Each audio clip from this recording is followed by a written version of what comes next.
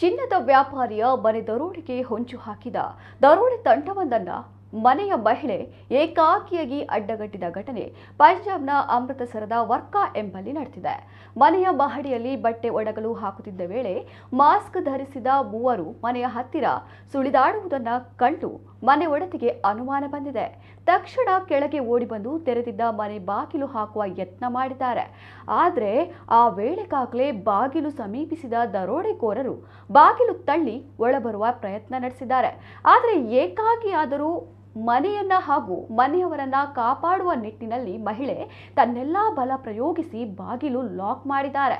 ಜೊತೆಗೆ ಜೋರಾಗಿ ಕೂಗಿಕೊಂಡಿದ್ದು, ಇದರಿಂದ ವಿಚಲಿತರಾದ ದರೋಡೆಕೋರರು ಸ್ಥಳದಿಂದ ಪರಾರಿಯಾಗಿದ್ದಾರೆ. ಬಳಿಕ ಪಕ್ಕದಲ್ಲೇ ಇದ್ದ ಸೋಫಾವನ್ನ ಎಳೆದು ಬಾಗಿಲಿಗೆ ಅಡ್ಡ ಇಟ್ಟ ಮಹಿಳೆ ಸಹಾಯಕ್ಕಾಗಿ ಫೋನ್ ಮಾಡಿದ್ದಾರೆ. ಈ ದೃಶ್ಯಗಳು ಈಗ ಸಾಮಾಜಿಕ ಜಾಲತಾಣದಲ್ಲಿ ಹರಿದಾಡುತ್ತಿದ್ದು, ಮಹಿಳೆಯ ಸಮಯ ಪ್ರಜ್ಞೆ ಹಾಗೂ ಸಾಹಸಕ್ಕೆ ಜನ ಮೆಚ್ಚುಗೆ ವ್ಯಕ್ತಪಡಿಸಿದ್ದಾರೆ.